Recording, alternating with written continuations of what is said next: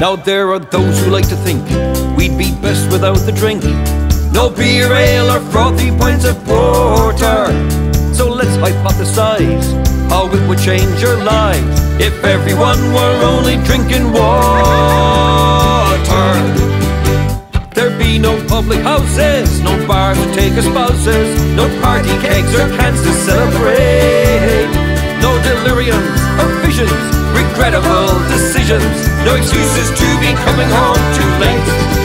So, brothers, sisters, it's time to take a stand. You can cry my beer from my cold dead hand. Raise 'em up, raise 'em up and drink 'em down. Yeah, raise 'em up,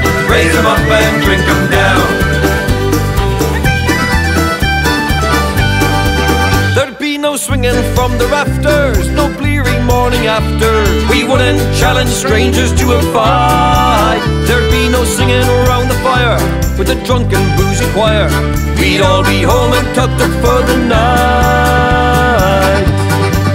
We'd have no wake to wake the dead. We couldn't wet the baby's head or toast the bachelor or bride to be.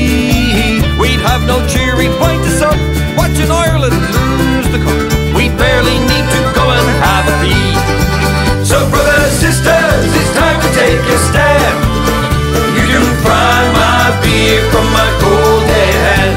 Raise 'em up, raise 'em up and drink 'em down. Drink 'em down. Yeah, raise 'em up, raise 'em up and drink 'em down.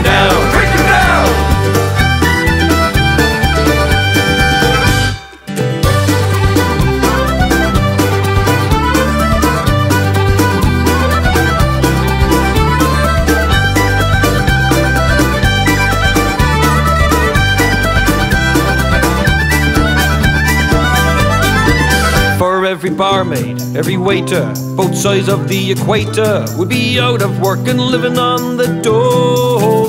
The wealth of every nation depends upon libations. Beer, it seems, is worth its weight in gold.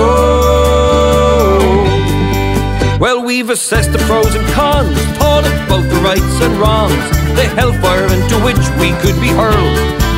Now get that pint into drinking for the future of the world. So, brothers, sisters, it's time to take a stand. You can pry my beer from my golden hand. Raise them up, raise them up and drink them down. Drink them down. Yeah, raise them up, raise them up and drink them down. Drink them down. Yeah, raise them up, raise them up and drink them down. Drink them down. Well, you can pry my beer from my